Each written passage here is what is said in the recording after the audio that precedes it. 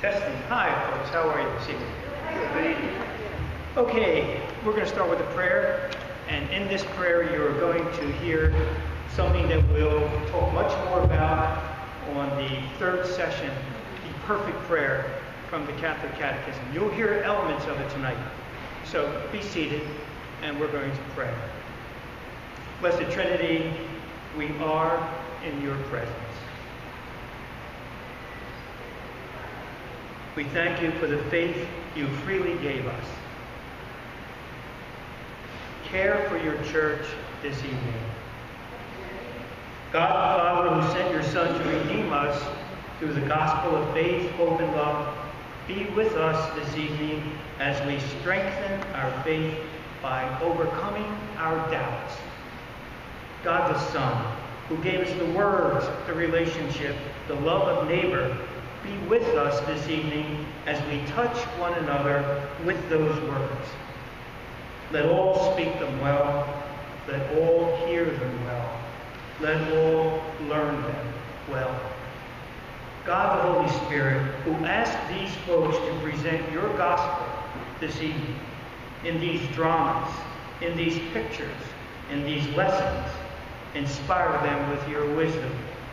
Be their tongues, let them speak with your love for them and all here this evening. Be with our teachers, be with our learners, be with our believers as we grow together in faith. Amen. Amen. That was good. Okay. now, first thing is, oh who am I? Who is Nancy? Well, we've been prisoners here for 27 years, and sometimes we leave you when we go to Florida because got tired of shoveling snow. But it's pretty hot down there right now, so we return for the summer. Um, why are we up here? Why should we be talking to you about these things? Well, we have some background, so you don't have to worry about the theology or the psychology or the philosophy or the communication. We have degrees in all of those areas. Uh, we did this program in Florida where we invented it first. They did very well. But I'm telling you, I'm not sure what I'm going to tell them about who's the better cast. I'll have to send an email out after tonight and tell them how well these folks did. What's the genesis for this program? The genesis are, is the theological virtues faith, hope, and charity, which are gifts that are given to you in baptism. You can never lose them, but you can not take care of them. But faith needs to be nurtured. So we decided we were going to do these three theological virtues faith, hope, and charity. We did them in Florida. It was very well received. Uh, when we did uh, love, for example, we carved that into two sessions forgiveness and love. And we changed forgiveness to pardon. We had folks raise their hand and pardon people that they had to forgive. Whether they're in San Francisco or Illinois, you don't have to meet somebody to pardon. Them. And about love, some people say, I don't even like the person. How am I going to love them? We changed that to regard. And, and we would love to do that here perhaps next year. Then we said, coming off these three major virtues, there are the other ones, the bridge virtues, the cardinal virtues. They're called cardinal because they're bridges, which are prudence, justice, fortitude, and temperance. Those four you do not get from God. Those four you're on your own. And those four you need to get into heaven. And we will cover those in some way. And you'll think that any sin that's ever been committed has four violations in it, and they violate these four virtues. So why doubts? Because people have doubts. Pope Francis said we improve our faith by resolving our doubts about faith. So we identified six doubts. Two for this evening, two in July, two in August. What we thought were the chief doubts as to why people lose their faith. I have at least two people in my own personal family that have lost their faith because of one issue or another, either with faith or the church or teaching or something like that. Can you help me out this evening and raise your hand if you know somebody that's lost their faith based upon some way in which they were disappointed in their faith or their church? Good. Thank you. That'll validate what we're going to do this evening. Now you have the playbill. The playbill is a keeper. It's got a lot of stuff in there. It's got a lot of psychology as well as theology. Why psych? Because God made man and he made him a psychological being. Inside these virtues, you are going to see psychology working. We're going to show you that in just a minute. Once we understand the psychology, we see how the theology fits in with it. Sound psych, sound theology. And just one word about the church and religion. I do not want anybody to get the wrong impression about the second scene tonight, in which a character called Rule has obeyed all the church rules, and yet the church disappointed him. We are not saying that you should ignore church rules or ignore church teaching or church authority. We are not saying that. What we are saying is that there are people, there are people who have lost their faith because they were just rules people. And they made that mistake of making rules their faith. They didn't have a personal relationship with Jesus. They had an organizational relationship with the church. And when the church failed her, or somebody in the church failed them, they lost their faith. We need to cover that tonight because of all of our experience. And so, we'll begin. I need to stand, I was told I need to stand at a certain spot, I won't be in the camera, so I need to come over here. I'm going to to be left-handed, right-handed, that's going to be really interesting. Okay, so, no, feel, do. This is the beginning of the psychology of the human being. You don't do anything unless you first know something, then you feel something, and then you do something. You cannot do something unless you have the attitude to do it. And you don't get the attitude to do it unless you know something, even a piece. We're going to talk about starter pieces in religion. Now let's follow these three and see where they go. One is information, the other one is called attitude, the other one is called behavior. Sounds pretty simple, but that's communication. The church is into communication. We're into communication. We communicate with God. We go to communion because we want to go to communion because we think God is in communion. Think, feel, do. Don't do unless you feel. Don't feel unless you think. What we're going to be doing, dealing with tonight is that first part. So we look at the mind.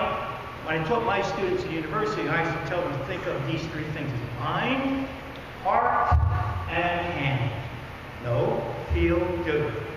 They become faith, hope, and charity. That's exactly what God has. Know, feel, do. These three are these three, are these three, are those three. And this is the God we're dealing with tonight. With, of course, that doubt. That ruins the faith, makes us question. You're going to hear in the first scene, lady says, nobody ever comes back from the dead. Ever, ever, ever. Why does somebody come back? Nobody comes back, so why should I believe it? These people want to know. They cannot get to believe because they want to know. And we're going to see where those two don't mix. So, there's six common faith doubts. Tonight, we're doing evidence and religion. The first one is going to be no doubt about afterlife, therefore God does not exist.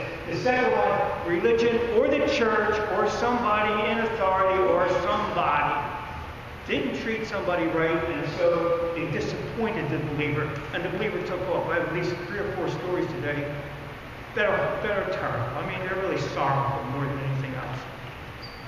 Second night, please come in July, is reason and science. Only fools believe in fairy tales. This is what they're telling the kids today. Everything is reason. You shouldn't believe in fairy tales. If you believe in faith, you're nuts. It's not that at all. And this guy is going to be really interesting. We're going to talk about Darwin. We're going to talk about chance. Is it possible that chance caused life? We're going to show you uh, a terrific philosopher of science, Stephen Meyer, who wrote three books. His last one just came out. I'll bring them and show you, in which he says it's impossible that chance caused life. Not possible. I should have many zeros go after the possibility of chance. That's going to be very interesting. And of course, the third night, two huge problems. I prayed in God's name. I didn't get it. Why not? The scriptures say, pray my name, you get anything you want. I didn't get it. No matter what it was I prayed for, a good birth, it didn't happen. A job, it didn't happen. So therefore, who needs to believe? And finally, evil. Thomas Aquinas is going to visit us, and we're going to talk about how is it that a good God could allow all the evil in the world. It's called theodicy. And they're trying to say, if you have evil, you can't have a good God. Aquinas will explain how that happens. So, this is the first night. The first one, we're going to talk about the chain of faith from the Catholic Catechism. You are a link in a chain.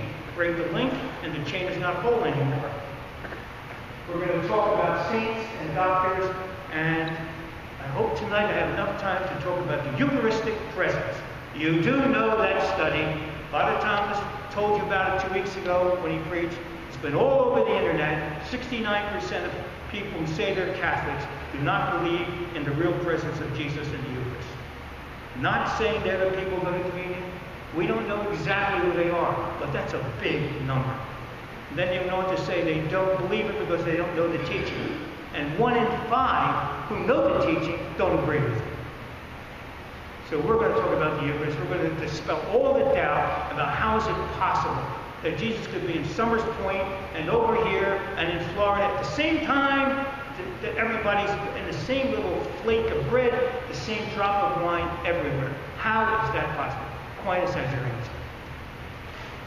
We're going to also talk about this let down. That's the girl that was mistreated, we think, and then she lost her faith. The second night, we're going to talk about reason and faith and all the secular attacks that are going on today, about Darwinian evolution and about intelligent design. Did this universe come from some intelligence or not? Or did it just accidentally appear? What's that possibility? What's that probability that happened? So we're going to talk about fairy tale or dreamer. Says, you know, I don't want to believe this stuff anymore. I'm getting so tired of defending the faith. Yeah, these mysteries, these mysteries you're a Catholic. The Trinity, the Eucharistic presence, two natures in Jesus, the Assumption, the Ascension, the Immaculate Conception. Really, you believe all of these high beliefs, these high teachings. Sometimes they're tough to believe when somebody comes along and says, nah, can't be, can't be. That's what they're telling the kids today because I taught in the university. I know what it was like and it's even worse since I left. So we have Darwin down, science, and of course we will have a discussion tonight. After each of the dramas, we will have a Q&A. So you're going to ask any questions you want. If you don't want to ask about yourself, just stand up and say, I have a relative who can talk. and that's all right. And we'll, answer whatever question. You, we'll try to answer whatever question. And so, chance or intelligent, we're going to give some tips for parents and grandparents how to help these kids. I have a granddaughter now, and I really worry to be honest with you. She comes home and she tells me what they're teaching. And we're going to have to change that and have arguments for it and reasons for it. And then on the third night in August, we're going to talk about unanswered prayer and the difference between expectation prayer, where you pray to expect something, or you pray and it's, if it's in God's will, I will get it, but not to always expect it. The two characters are interesting. They're needy and greedy. But needy needs lots of stuff. And greedy wants all the stuff that needy is asking for. And we're going to go to Thomas Aquinas' You'll, you'll learn this later on. Doctrine of lacking. It's fascinating how he explains what evil is. Evil doesn't exist. It's nothing. It can't exist. It's the absence of good. It's like a puzzle with a piece missing. Lucifer is not all evil. He can't be, because evil does not exist. He's good going astray. Good going astray with a piece of the good of the goodness missing It's going to be a really interesting discussion. And then the unanswered prayers, problem of evil, and what's allowable evil. They're the three nights. I show you them now. You'll see the poster outside. Please come. Tell your friends I, and people that might gain something from it. We had a couple of non-Catholic people come, and one woman came, and her husband had done something terrible to her in the years before, when they were married, before he died. She left the presentation, she went home and she forgave him after all those years. Something, something triggered in her mind that she should do this. Okay, so what's the virtue? The goal of a virtuous life is to become like God. Now we can't become God. We can't even approach that, but we try to become like God. God has no faith. God has charity. God has no hope. When you get to heaven, Faith and hope are done. You're finished. All you have left is charity, and that's what heaven is. Heaven is, and I told the people in Florida, as I said, oh, you have to come to the next presentation to find out what it is. I didn't feel good about that. So the next day, when I made another presentation, I said, okay, here it is, people. Heaven is knowledge. You will know God. You will know God as He knows you, and you will know yourself. So didn't St. Thomas Aquinas say you're going to see the beatific vision? That's the same kind of see where you say, see my meaning, you see what I'm getting at. The angels can't see. People have not resurrected from the dead yet. They don't have any eyes, but they know. Think what's in store for you. Absolute, perfect and happiness after that. Okay, so these are the three theological virtues that are the core. You get these for free when you're baptized. And then we have the moral virtues which come off of these things. And you nurture them, they grow, you ask for grace. You need to be virtuous to get into heaven. And it's one of the reasons why we're going to deal with these. And so we have these bridge virtues which are not accused by God. The cardinal virtues justice, fortitude, and temperance. And once we, we, we explore all of these, we have all the tools we need to enter heaven. So let's talk about the sources of everything we're going to talk about tonight Thomas Aquinas, the saints, the doctors of the church, and the Catholic Catechism. Now, let's begin. Faith is an act of the intellect. It is not a whim, it's not a feeling, no, it's no, feel, do. No.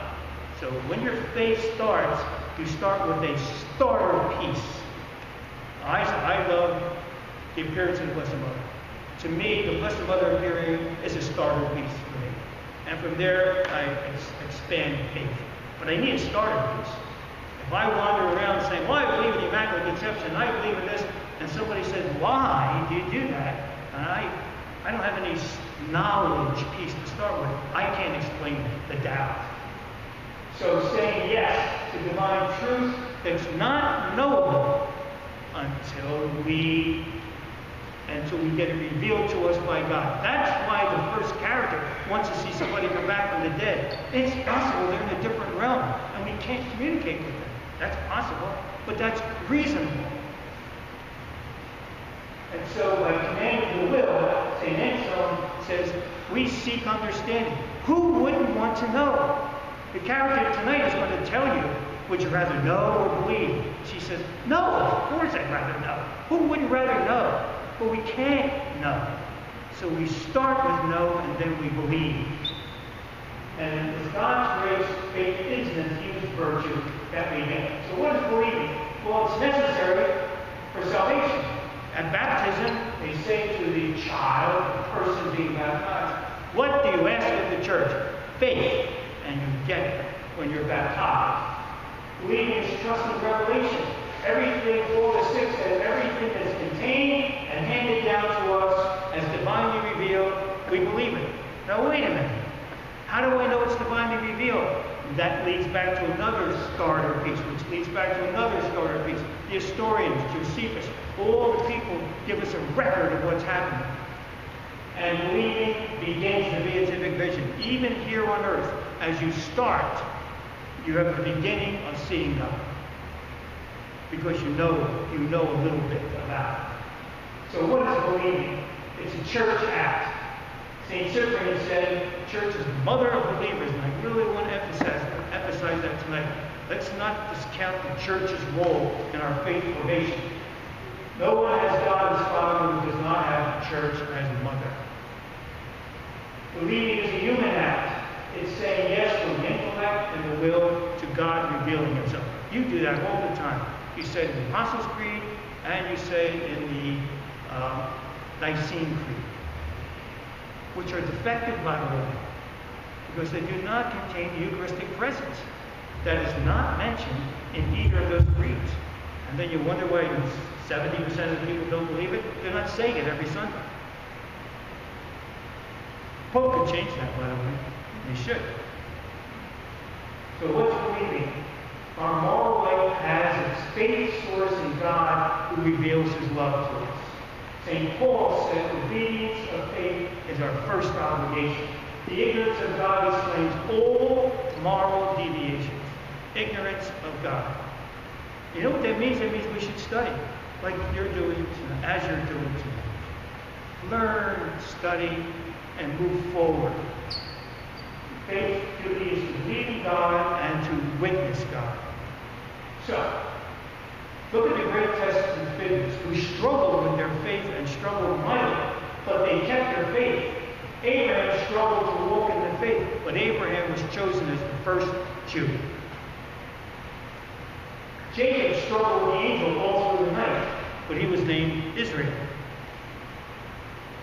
Jesus struggled doing his father's work in the garden, but he raised himself from the dead. They never lost faith.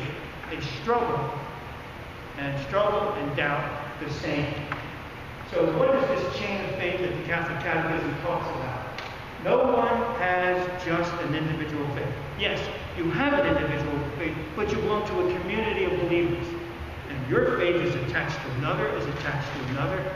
Break the chain and you leave somebody off. Each person's. We accept the faith from one and we pass it on to another in an unbroken loop from God back to God. The Apostles' Creed is the profession of one link in the chain, but the Nicene Creed is the profession of the entire chain. Do you remember when you were younger you said, we believe in God, the plural? In 2011, they changed the translation for the missal. Now it's I believe in God. So both the Apostles' Creed and the Nicene Creed are personal affirmations. I, I. But originally, one was I, the link, and one was we, the chain. So in your mind, you feel like you can go back to the old one and say, wait, because when you all profess it, so the Catholic Catechism says, when you, you'll see that when you all profess it, it says you join the whole chain. So God the Father, I, I, the Holy Spirit, we, consubstantial. Nine times the original Nicene Creed used us and our, our Savior. The third day he rose from the dead, ascended to heaven, sits at the right hand, returns in glory. We believe the Holy Spirit. We believe. We believe. We expect resurrection. And it changed in 2011 from we to I. The Catechism says, whoever says I believe pledges themselves to the rest of the crowd, to we believe. We're getting our basis in what faith is before we start looking at the doubts. So, this is how faith works.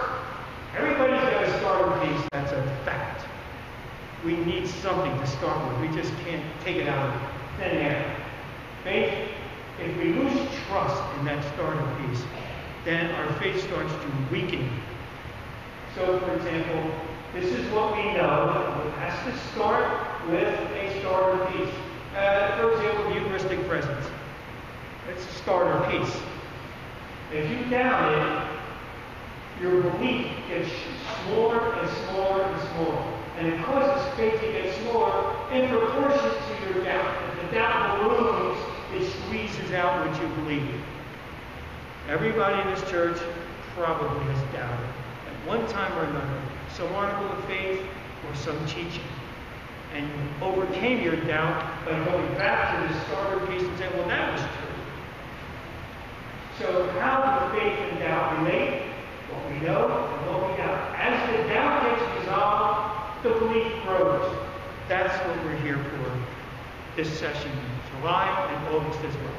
We're going to improve, improve our faith and lessen our doubt.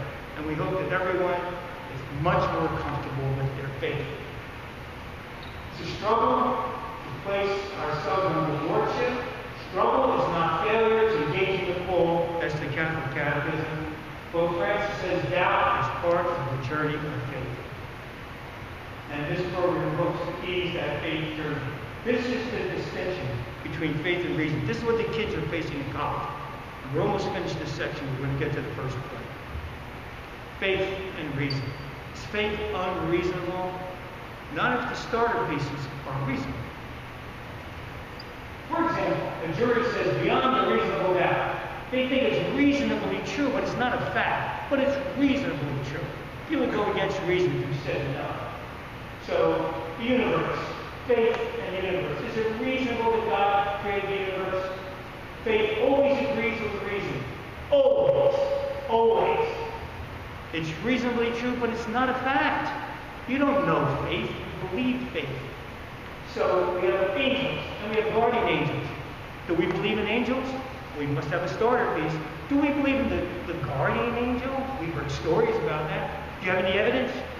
Has a guardian angel left any notes under the pillow? Has anybody seen a guardian angel? So then you start to say, well, maybe there's not a guardian angel. But okay, I want to believe there's a guardian angel because I believe in angels in general. That's how the doubts start to come in. Faith can start with evidence, and fact faith goes way beyond evidence. Do not look for evidence in faith. You're looking for facts. You don't match. The blessed the Lord, one I'm pretty uh, dependent on, is the old crutches in the church. That's a fact. They were healed. Hey, I'll take that fact. Then I think she appeared. Then I think somebody came back from the dead. Then I think there's an eternity. Then I think she's the mother of God. I'm okay. Everybody needs some starter piece like that. Faith and reason can never, ever conflict. We know facts. We do not believe facts. So, we're going to start with our first drama now. This has to do with somebody who says, I've never seen bread come back from the dead. We call it the arrogant down of evidence. I need to know, to know that somebody's going to come back from the dead. I wait for signs of life. God says, no signs come. Why not? If God wanted us to get to heaven, He should give us a glimpse of heaven. So, still waiting, God is believing so hard. So, we're going to call our cast up now and introduce them to the first drama. And they're going to walk through this problem of needing evidence. So, St. Teresa of Lisieux will be played by Judith Spires. St. Teresa of Avila by Jerry Barsotti. Undecided by Kathleen McHale Vanderbilt. And as they take their seats and lie on their mics, we'll set the stage for you for this scene. Undecided here, Undine, we're going to call her the play, wants to see somebody come back from the dead. She demands facts. What about what? Mysteries. Big problem. Using personal stories, however, the two doctors of the church. We used all the female doctors in the church. Thank you, ladies. They are going to allow her to only, not only to know, but also to believe. They're going to mix knowledge as starter pieces with faith. Because the living and the dead are in different realms, and they get it all.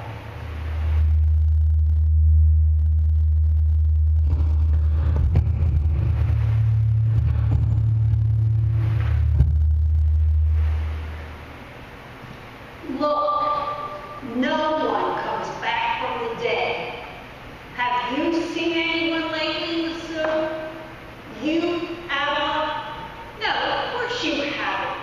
Because maybe there's no there to come back from.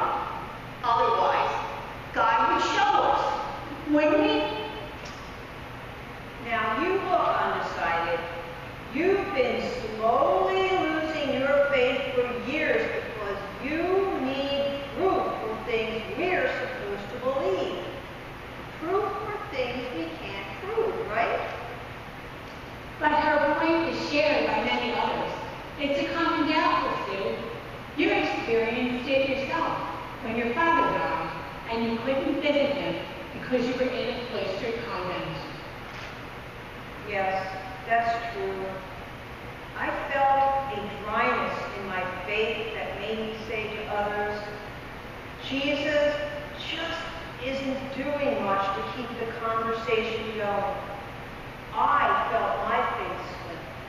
You see, and that's what I'm talking about. You needed to see Jesus to believe he was real. Well, it got worse. I got very ill. I spit up blood. I realized I couldn't reach God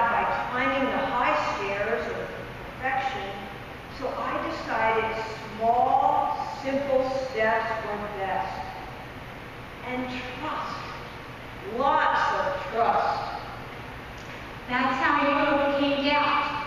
Small, simple steps. Little petal by petal first. Then a little clouder. Then heaven. Well, of the millions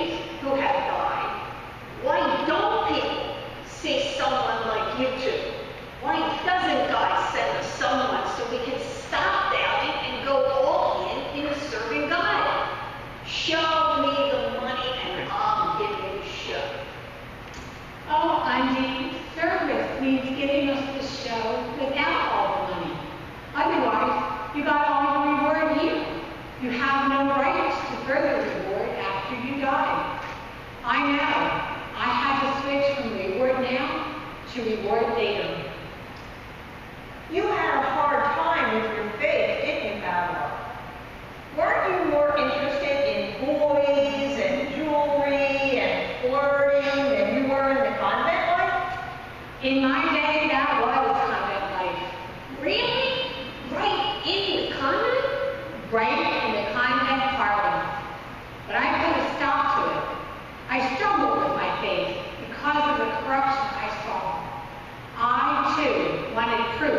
that God was somewhere in the middle of all this corruption.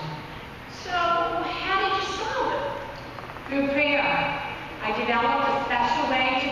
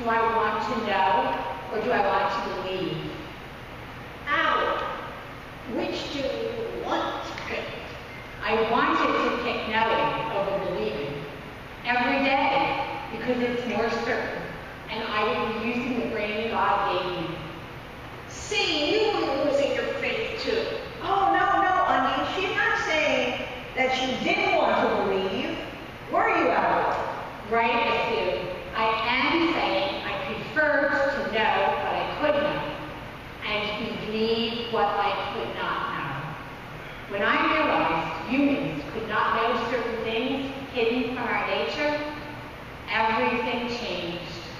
It was simple. Why try to know what you can't? Just believe what you can. Like what? Like, maybe the dead can't visit us in their condition if we're not in their condition. Perhaps the two don't mix like oil and water don't, unless God permits it, as he does with his mother's appearances. I decided, can you accept that explanation? I think I can accept that, but I need more of that kind of reasoning to respond to my critics who say I'm just a delusional believer. Many of Christ's children in St. Damien's parish are using more of that reasoning too, right now. Funny, they're using reason to support their faith. That is strange. Using reason to explain why we can't know and probably should not know certain things until the end. You are a dreamer, Andy. And because you you believe. You dream of never-ending happiness. God asked you to dream that dream. And he asked you to keep that dream alive until he calls. Those who doubt, stop dreaming as they sluggishly awaken to the I must know disturbing alarm clock. The alarm clock that says, awake, awake, stop dreaming. Sleep in, Andy. Keep dreaming. Keep hoping. Dream, Andy. Dream, dream, dream.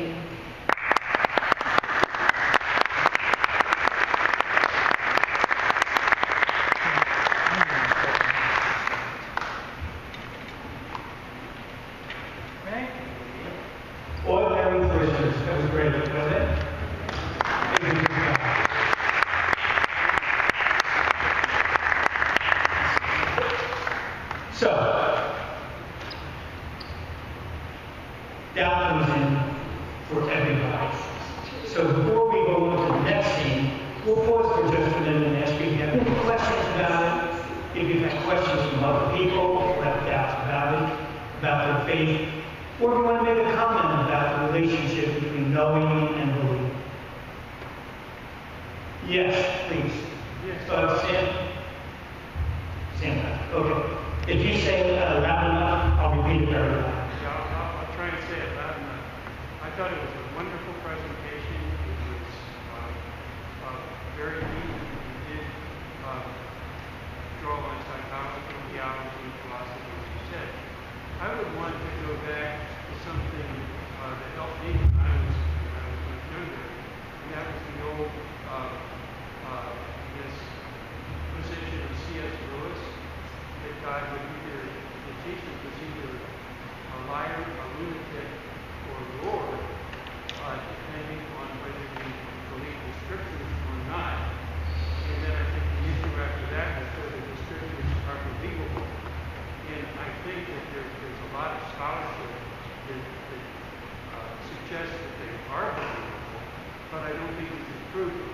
So No. I, I, I, would, I would just wonder if, uh, because, because you do have uh, testimony about the resurrection in the scriptures, you have eyewitness testimony, uh, you, you have, uh, uh, it runs through, it runs through Luke, it runs through, uh, uh, Paul, and, uh, shouldn't that be enough? If you believe the scriptures are believable, if they are believable, and that can be a big if to a lot of people, but if you believe that they're credible and they're believable, then shouldn't that be enough?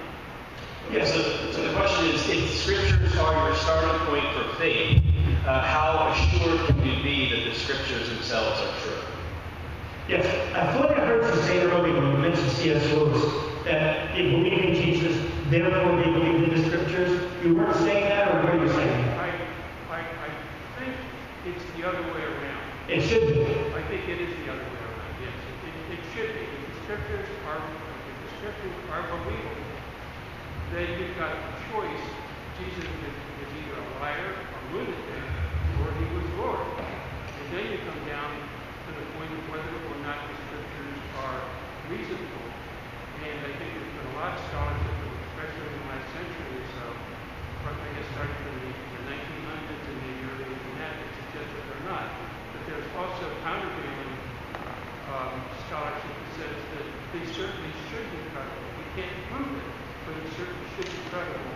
And that's where you get the motivation or That's, motivation. uh, do- would you be willing to tell us tonight that one of your starter pieces is belief in this scriptural revelations?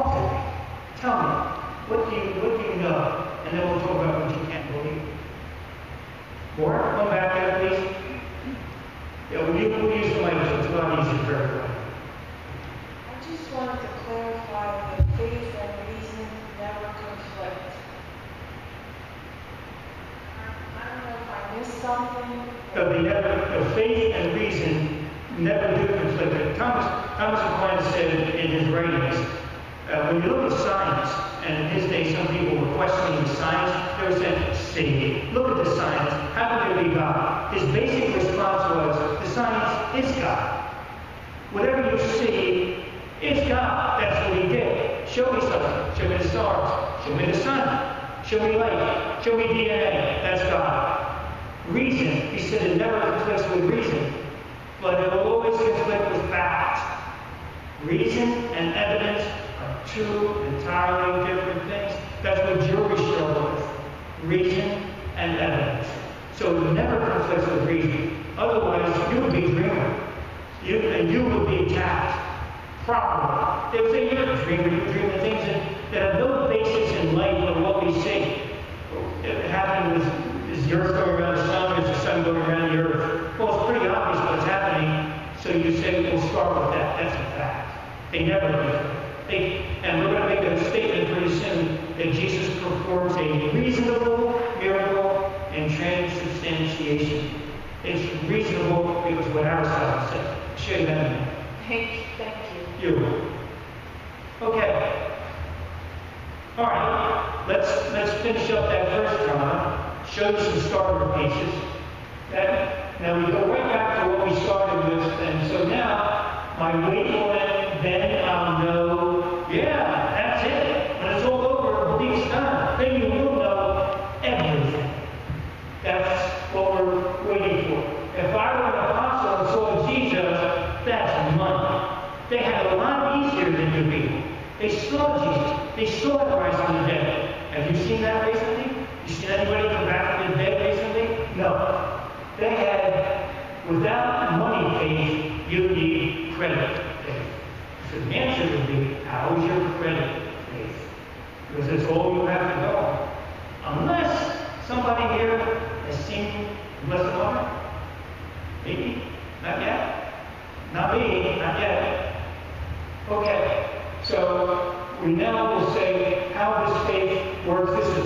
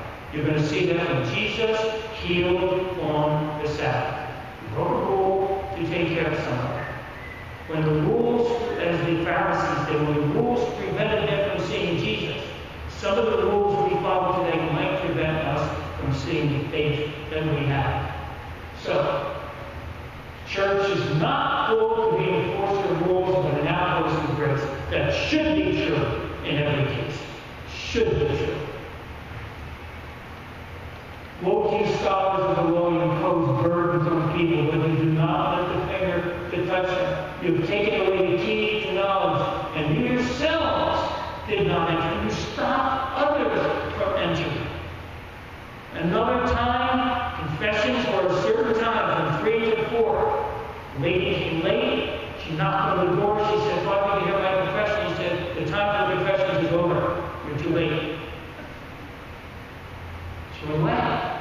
Did she go away? Away? Did she tell somebody else about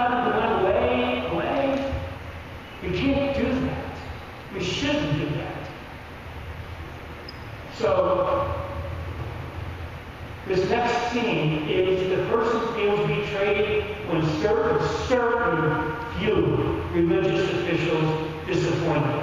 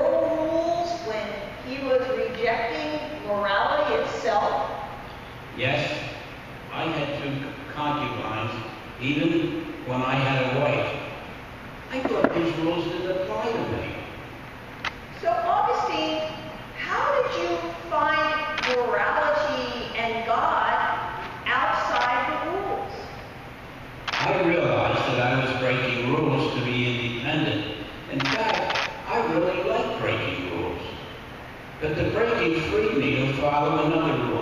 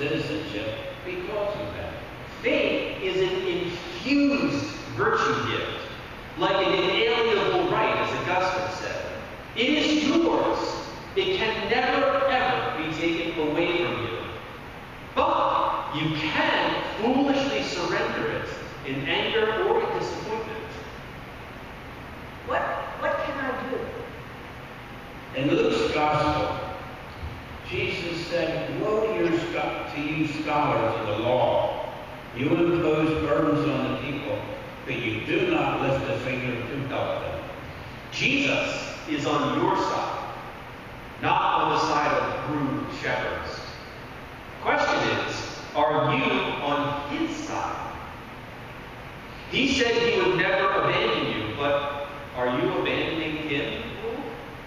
Oh, no, no. I would never abandon him. I just said I was losing my faith. I never met my relationship with Jesus. What's the difference? Look, if, if a particular deacon won't bless your parents' graves, take your faith and go bless them yourself. If a particular secretary won't take your food, find another church that will. And as for mass, find a shepherd with a padded throat that's not going to choke you. Do you, do you think I can do all that, ignore the rules, and still be faithful? whoa, whoa, whoa. whoa. Be careful here, Gold. You can't ignore or abandon the church and just have faith in your mind. You, we all, sacraments. And the sacraments are in church. Follow the scriptures for your answer. Augustine will tell you how. Remember, Jesus healed the man with a withered hand in the synagogue itself on the Sabbath. Jesus asked, So is it unlawful to do good on the Sabbath? When rules stop you from expressing the gospel's love message, ask Jesus for advice. He gave it when he said to the Pharisees, I desire mercy, not sacrifice. So faith first, rules second. All the rules are means to an end. When the means don't get you to the end, by all means, get there another way. But get there. Don't ever, ever sit on the side of the road with a withered heart simply because it's the Sabbath day. Find that shepherd who never cared what day of the week it was, or where it was, or what rule he might have been breaking. So do you think I can find that person? Why not find out? Rules sometimes are scripts that we use to talk to God, but out of mercy and love, as He did for that man with the withered hand on the Sabbath. And for you, rule, God just might enjoy some original lines.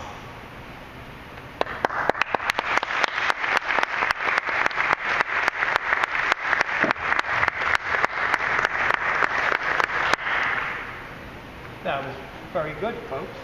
You did very well. I'm not sure what I'm going to tell those people in Florida now take this stuff. Okay. Whoever has some time, we're getting a lot of feedback. Whoever has some time to talk about the Eucharist, But let me just pause here and ask you, it's time now for you to ask any question you want. And please understand, she's an aberration. But what was her problem?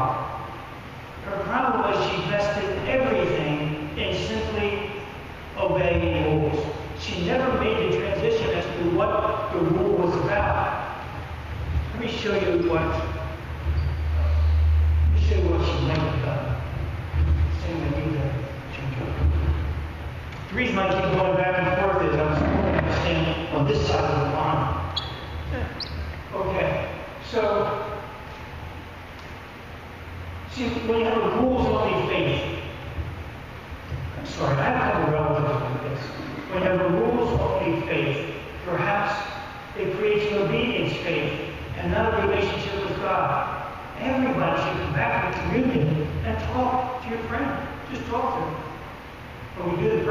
prayer from the Catholic Catechism, we're going to say, you shouldn't even ask for anything until the fourth part of the prayer. Come say hello.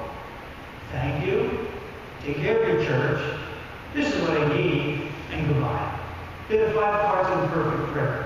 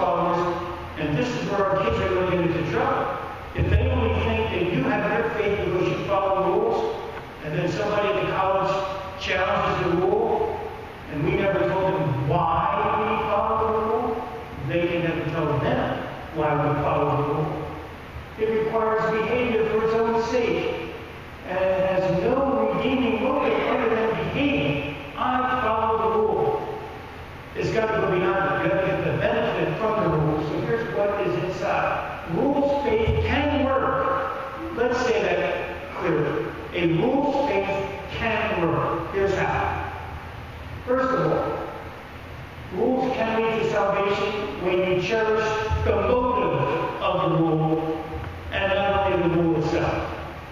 Learn the rule's motive. Adopt the motive before you act. Have the attitude before you behave. If you know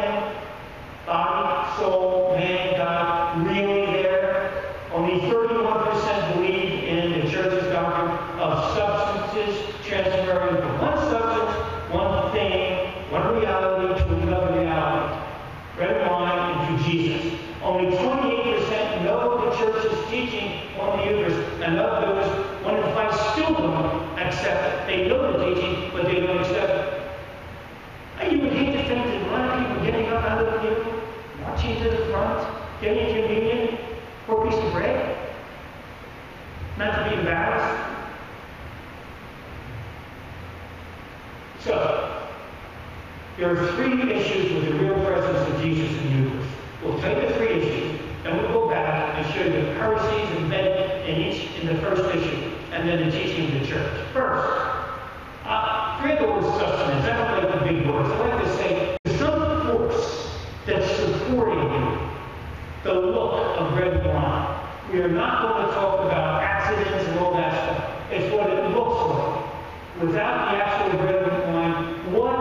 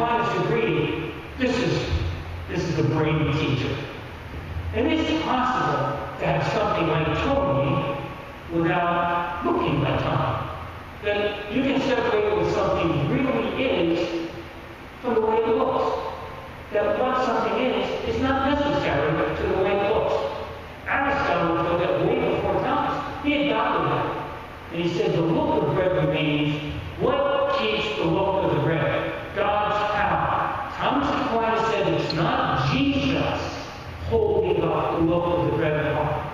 It's God, the power of God. Jesus is not the substance for the look of the red heart. This was Aristotle's contribution to the difference between look when something looks like it and something is. Heresy 4.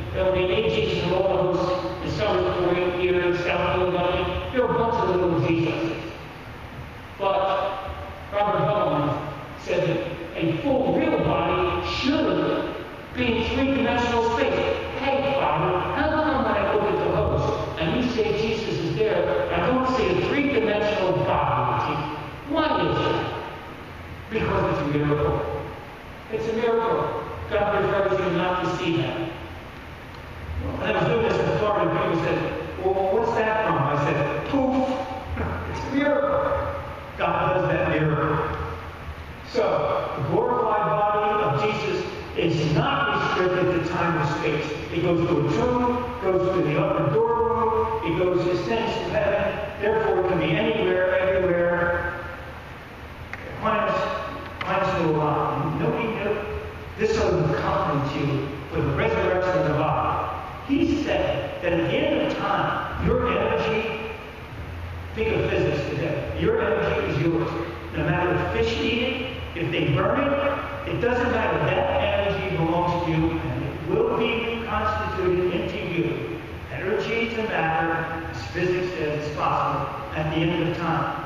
He also said, he also said with this multi-location, you know, you do know that electrons that go around the nucleus can be anywhere.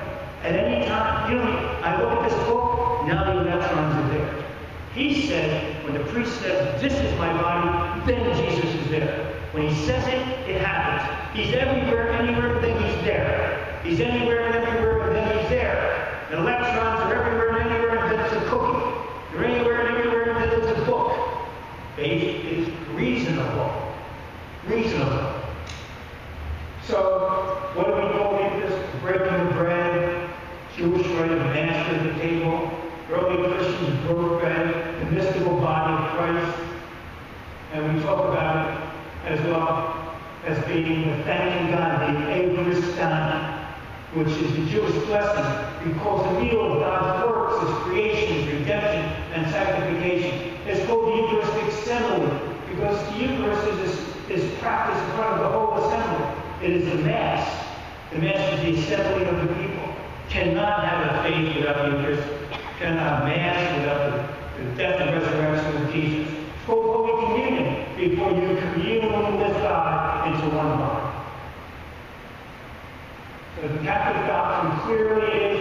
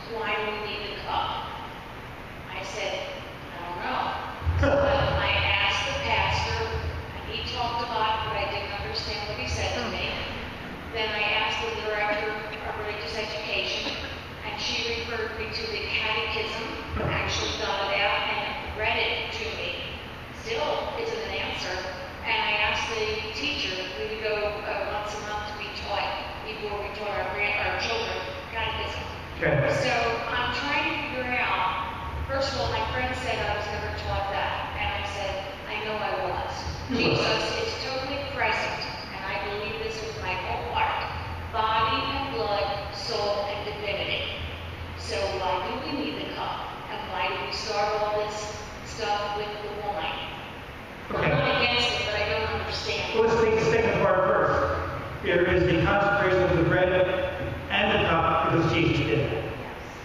This first part is simply saying humanity. His humanity and his divinity is in the host. What is his humanity? Body, blood, nerves, soul, brain, divinity, power, experience, that's all in him. He's also present in the wine, separate, separate, but he's all present. So it doesn't matter if it's just the host. When you say body, blood, you're saying humanity, all of his humanity.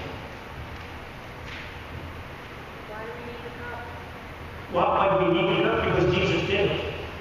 He separated. Imitating Jesus. Yes. Well, we didn't imitate him for how many years in the church? Well, we, no, when you had the, when you had the, uh, the virus and everybody stopped touching the cup, we, it's okay to have received Jesus in the host alone. You were receiving the entire Jesus. If you were to receive the cup by itself, you also would be receiving the entire Jesus. Traditions change, customs change, but you, the host is sufficient for you to receive Jesus. You're not missing out on anything by receiving just the bread. You're not. Oh, I didn't think I was. I was just trying to figure out if he, if all of him is in the host, which is what I believe, why do we have, why did all this cup stuff start? Not that I'm against it, but I don't understand it. As my granddaughter said to me, Mimi, why, why do we have a cup that is Do this, do this in remembrance of me. Do this, both this and this, yes, both this and this. Now remember, when you separate the body from the blood, somebody dies. So the Mass is the metaphorical death of Jesus all over you. But he can't really die again. So we separate the two in a symbolic death. It is really him dying for us all over again at the consecration of the Mass. This way it's called the sacrifice of the next. Question? And we have always done both body and the blood, dating way back to the apostles. Any other questions? Okay, there's a question there? Wait, wait, wait, Sam. Can you break the tape? Okay, it's, it's about the rules, okay? About the rules. Okay, just supposing you have your college come, come back, or in a way. Say, say again your comment. Just, just suppose you have your college son coming back. Yes. You know, they haven't done anything all year, they come back, and they go to church, and they receive communion. Okay. Um, obviously, not very catechized. How would you approach that? Sorry, I'm missing the question. Your, your son goes away to college and comes back again, has not been attending Mass, so how do you approach getting that person to come back to Mass? No, they come back to mass and go up and receive communion, and I went, uh-oh, but don't know what to do. And the husband says, look, he's at mass, he's receiving communion, you want him to not go at all? It's the rules, a little bit of. Oh, oh should he be going to community, he doesn't believe what he's doing? Oh, he, he believes, he just hasn't gone because he's at college having a good time, right? So he has, he has sins on him, and he's receiving the sins. Oh, yeah. Yeah, okay, so receiving the communion where you have sins on you, receiving unworthily, that type of thing. How do you get somebody to do that? Or how do you, how do you approach someone? Not to it. Without making them, you know, they don't want, then they won't go to church at all with you. You're happy they're going to church at all. You know, they're So- 21 years old, just coming back from college. Uh, as a Christian, uh, as a Christian, what do you want from him?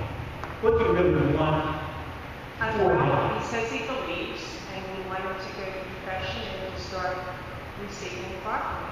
But how do you do it without turning them away completely, which is the fear? You're not going to get somebody to the sacraments unless you start way back with the starter piece. Does he even believe that somebody can forgive a sin? Does he believe in forgiveness? Now, and remember, he, about confession, somebody steals money and they go to confession. I would ask him, what do you think should happen to him? And you say to him, oh, there's two parts to confession. There's guilt and then there's penance. When you say you're sorry the priest forgives you, the guilt can move. But as Thomas Aquinas said, the imbalance is still there. You have to do penance. Now, if the priest says, say three Hail Marys, is that balance, stealing money? Or should he say, go give the money back as your penance?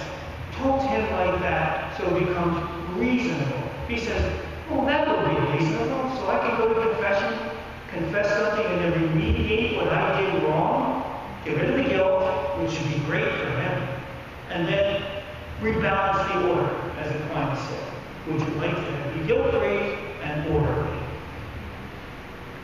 But start with them. Don't preach to somebody. This is what I used to tell my students when they were about ready to make a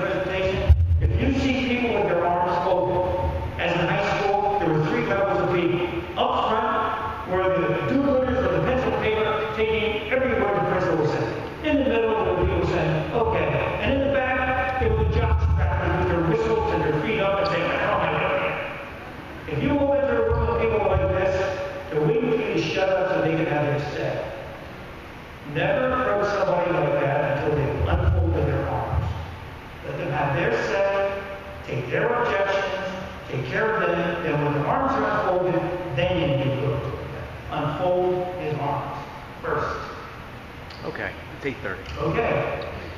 So, Sam wants to say a couple of words. Uh, I just want to say, say thank you to uh, Father Thomas Newton, our pastor, for all the support that he's given us. Uh,